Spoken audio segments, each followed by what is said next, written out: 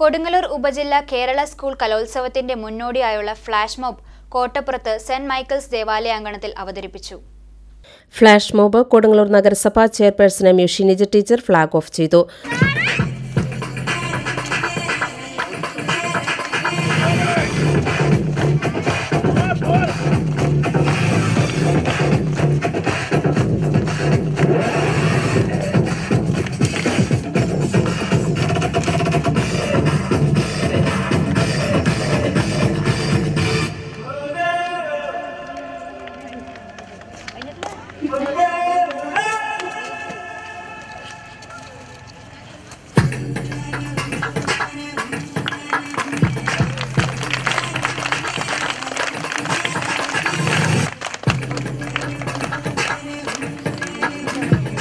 Kottappuram saint Michael's L P സ്കൂളിലെ വിദ്യാർത്ഥികൾ അവതരിപ്പിച്ച ഈ പരിപാടിക്ക് കൊടുങ്ങല്ലൂർ നഗരസഭ ക്ഷേമകാര്യ standing committee chairman K S Kaisab നന്ദി പറഞ്ഞു.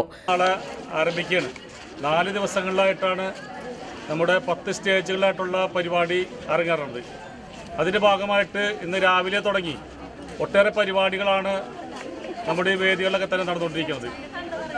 ഇപ്പോൾ saint Michael's L P school വിദ്യ കുട്ടികളെ സംഘടിപ്പിച്ചിട്ടുള്ള ഫ്ലാഷ് മോബാണ് ഇവിടെ അരങ്ങേറിയത്. വളരെ നല്ല രീതിയിലാണ് ആ പരിപാടി സംഘടിപ്പിച്ചിട്ടുള്ളത്. എന്തായാലും നമ്മളുടെ ഈ കലോത്സവം ഈ വരുന്ന നാല് ദിവസവും അതിഗംഭീരമായി നടത്താൻ ആവശ്യമായിട്ടുള്ള പ്രവർത്തനമാണ് സംഘടിപ്പിച്ചിട്ടുള്ളത്.